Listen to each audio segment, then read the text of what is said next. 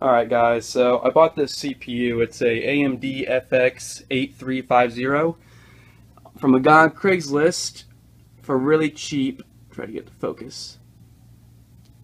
With a bundle of other stuff, so it was worth it even if it didn't work. And I got home and I realized these three pins are missing right here in the corner. Um, only three pins with any problems. None are bro are no more are broken or bent anywhere on the CPU. But there's three right there in the middle of the screen towards that corner right there that are missing. So what I've done is I've taken this CPU right here that I have. It's an AMD Athlon 64.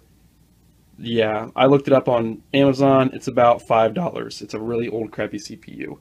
I took that blowtorch right there and I heated it up so all the epoxy or solder or whatever on this CPU kind of melts away and I dumped off three pins. The pins look like this. They literally just fell off that CPU. Where's it at? Where's it at? Where's it at? Okay, there it is. Focus for me. There we go. See that pin? Yep, and then I cleaned them up with a little bit of isopropyl alcohol to get the um, anything off of them.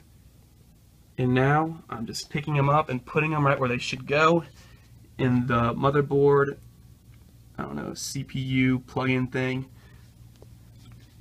putting them corresponding to where this will go. So the next one I'm going to put in is the third from the right of the top row and the second inwards. So let me do that real quick. It takes a lot of focus to get this right where I need them. And uh, you can see those two copper backs on that pin, the pins I've already put in.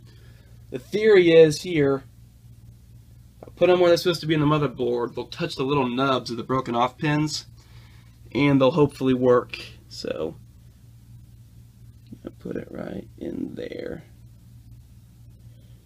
Yep, go in right there. Scratch up the back a little bit. That way it's nice and clean.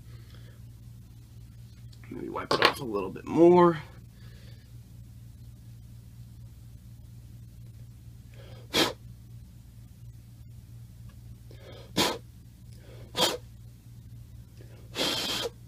All right. Now I'm going to take my CPU again. I'm just going to look at it one more time, make sure those pins are in the right spot. Okay. In the second row, it's the fourth from the, um, should be right on this side. Um, one, two, three, four. Yep, okay. Yep, I think if I put my CPU in now, those pins, the little nubs on this broken CPU, will touch the backs of those pins, and uh, hopefully it'll work. So. I'm going to go ahead and carefully place my CPU in there. It's gone in. Hopefully I didn't bend any keys. That didn't go in really smoothly. Or any of those pins. Pushing down on it, lock it in place. Okay, now I'm going to go ahead and build the rest of the computer. Still need to buy some parts. I'm going to go ahead and build the rest of it. And then I'm going to videotape it as I try to turn it on. As you can see, I've got really nothing put in there yet. I've got all the parts laying out everywhere.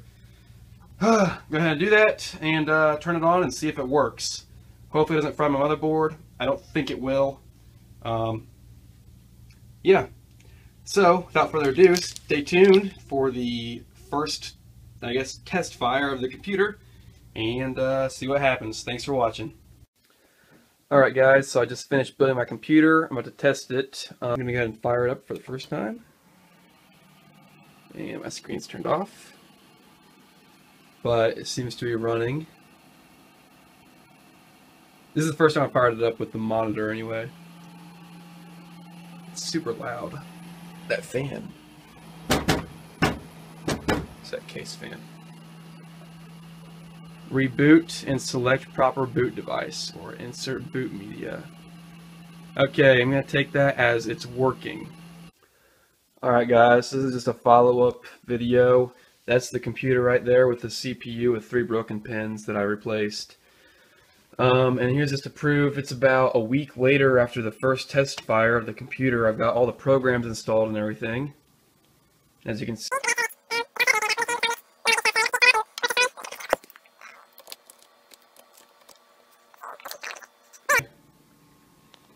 As you can see, it's working fine. Um, and I really haven't had any problems with it. Nothing, no error messages other than when I, other than anything not related to the CPU that I've worked through already, so it's not been the CPU's fault. So there she is, brand new computer, three broken pins, fixed just fine, and works just fine. Hopefully that lasts. I don't um, plan on like overclocking or any of that crap, making my CPU really hot. Uh, this is just going to be a pretty much overbuilt normal computer. So hopefully it shouldn't be too much wear and tear and uh, hopefully the CPU won't fail. But if it does, I might just uh, throw a, a comment in right here saying how long it lasted or something like that. The day it fails, I'll let you know like, oh, it lasted three months. But anyway, enough said. Um, if you learned anything in this video, please uh, like, share, comment, rate, subscribe, all that good stuff. And uh, thanks for watching.